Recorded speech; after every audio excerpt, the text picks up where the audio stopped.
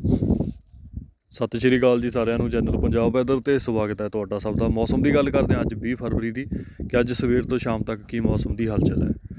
ਸੋ ਲਗਭਗ ਸਵੇਰ ਦੇ 7:00 ਵਜੇ ਦੇ ਆਸ-ਪਾਸ ਦੀ ਤਾਜ਼ਾ ਸੈਟੇਲਾਈਟ ਤਸਵੀਰ ਹੈ। ਸੋ ਦੇਖ ਰਹੇ ਹਾਂ ਕਿ ਜਿਹੜਾ ਸਿਸਟਮ ਆ ਉਹ ਪਹਾੜੀ ਖੇਤਰਾਂ ਵਿੱਚ ਹਾਲੇ ਬਣਿਆ ਹੋਇਆ, ਪਰ ਪੰਜਾਬ ਉੱਪਰ ਇਹਦਾ ਪ੍ਰਭਾਵ ਘਟ ਗਿਆ ਕਾਫੀ ਜ਼ਿਆਦਾ।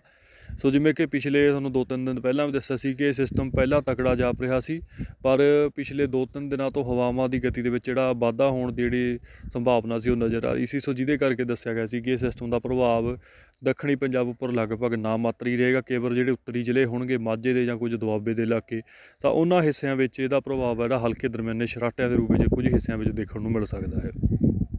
ਤਾਂ ਉਸੇ ਤਰ੍ਹਾਂ ਕੁਝ ਹਿੱਸਿਆਂ ਵਿੱਚ ਹਲਕਾ ਫੁਲਕਾ ਮੀਂਹ ਪਿਆ, ਕਿਣਮਿਣ ਹੋਈ ਹੈ, ਹਲਕੇ ਛਰਾਟੇ ਮੀਂਹ ਦੇ ਲੱਗੇ ਨੇ, ਪਰ ਬਾਕੀ ਮੌਸਮ ਜਿਹੜਾ ਪੰਜਾਬ ਦਾ ਜ਼ਿਆਦਾ ਠੀਕ ਠਾਕ ਹੀ ਰਿਹਾ ਹੈ। ਹਵਾਵਾਂ ਜ਼ਰੂਰ ਤੇਜ਼ ਚੱਲੀਆਂ ਨੇ ਕੱਲ ਤੇ ਅੱਜ ਵੀ ਪੂਰਬੀ ਹਵਾਵਾਂ ਵਗਦੀਆਂ ਰਹਿਣਗੀਆਂ, ਗਤੀ ਕੱਲ ਨਾਲੋਂ ਘਟ ਜਾਵੇਗੀ, ਪਰ ਫਿਰ ਵੀ ਬ- ਲਗਭਗ 20-25 ਕਿਲੋਮੀਟਰ ਦੇ ਆਸ-ਪਾਸ ਦੀ ਰਫ਼ਤਾਰ ਰਹਿਣ ਦੀ ਸੰਭਾਵਨਾ ਬਣੀ ਹੈ, ਜਿਹੜੀ ਕਿ ਜਿਉਂ-ਜਿਉਂ ਅੱਗੇ ਸਮਾਂ ਵਧੇਗਾ ਦੁਪਹਿਰ ਸ਼ਾਮ ਤੱਕ ਹਵਾ ਰਫ਼ਤਾਰ ਹਵਾਵਾਂ ਦੀ ਹੋਰ ਜ਼ਿਆਦਾ ਘਟ ਜਾਵੇਗੀ।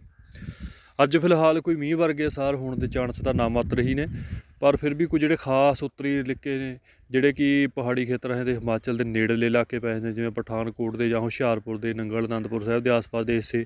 ਸੋ ਇਹਨਾਂ ਦੋ ਚਾਰ ਖੇਤਰਾਂ ਵਿੱਚ ਥੋੜੀ ਬਹੁਤ ਬੱਦਲਬਾਈ ਜਿਹੜੀ ਸਵੇਰ ਦੇ ਪਹਿਲੇ ਘੰਟਿਆਂ ਵਿੱਚ ਰਹਿ ਸਕਦੀ ਹੈ। ਥੋੜੀ ਬਹੁਤ ਇੱਕ ਦੋ ਇਲਾਕਿਆਂ ਵਿੱਚ ਹਲਕੇ ਫੁਲਕੇ ਮੀਂਹ ਦੇ ਛਿੱਟੇ ਪੈਣ ਤੋਂ ਵੀ ਇਨਕਾਰ ਨਹੀਂ ਹੈ। ਇਸ ਤੋਂ ਬਿਨਾ ਬਾਕੀ ਪੰਜਾਬ ਦਾ ਮੌਸਮ ਜਿਹੜਾ ਜ਼ਿਆਦਾ ਠੀਕ ਠਾਕ ਰਹੂਗਾ।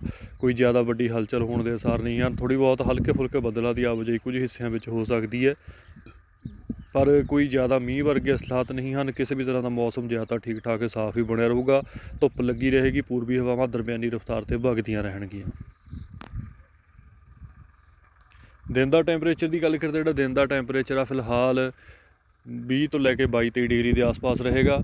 ਤੇ ਰਾਤ ਦੇ ਟੈਂਪਰੇਚਰ ਪੂਰਬੀ ਹਵਾਵਾਂ ਹੋਣ ਕਰਕੇ ਥੋੜੇ ਜਿਹੇ ਵਧੇ ਹੋਏ ਨੇ, ਜਿਸ ਕਰਕੇ ਰਾਤ ਦੇ ਸਮੇਂ ਵੀ ਥੋੜੀ ਜਿਹੀ ਗਰਮੈਸ਼ ਦਾ ਮਾਹੌਲ ਰਿਹਾ ਠੰਡਕ ਕਾਫੀ ਜ਼ਿਆਦਾ ਘਟ ਰਹੀ ਹੈ ਤਾਂ ਅੱਜ ਵੀ ਉਸੇ ਤਰ੍ਹਾਂ ਦਾ ਮਾਹੌਲ ਰਹੇਗਾ, ਪਰ ਕੱਲ ਤੋਂ ਫਿਰ ਟੈਂਪਰੇਚਰ ਥੋੜਾ ਬਹੁਤ ਦਿਨ ਅਤੇ ਰਾਤ ਦਾ 2 ਤੋਂ 4 ਡਿਗਰੀ ਤੱਕ ਘਟੇਗਾ। ਬਾਕੀ ਕੱਲ ਤੋਂ ਅਗਲੀ ਅਪਡੇਟ ਲੈ ਕੇ ਫਿਰ ਹਾਜ਼ਰ ਹੋਵਾਂਗੇ। ਫਰਵਰੀ ਦੀ ਜੋ ਵੀ ਰਹਿੰਦੇ, ਬਾਕੀ ਦਿਨ ਨੇ ਕੱਲ 21 ਫਰਵਰੀ ਤੋਂ ਤੁਹਾਡੇ ਨਾਲ ਸਾਂਝੇ ਕੀਤੇ ਜਾਣਗੇ। ਤੇ ਬਾਕੀ ਜਿਹੜਾ ਅਗਲਾ ਸਿਸਟਮ ਬਣ ਰਿਹਾ ਹੈ, ਲਗਭਗ 25 27 ਫਰਵਰੀ ਦੇ ਆਸ-ਪਾਸ ਉਸ ਦੀ ਕੀ ਅਪਡੇਟ ਹੋਵੇ ਕੱਲ ਦੀ ਜਾਣਕਾਰੀ ਵਿੱਚ ਤੁਹਾਡੇ ਨਾਲ ਸਾਂਝੀ ਕਰ ਦਿੱਤੀ ਜਾਵੇਗੀ।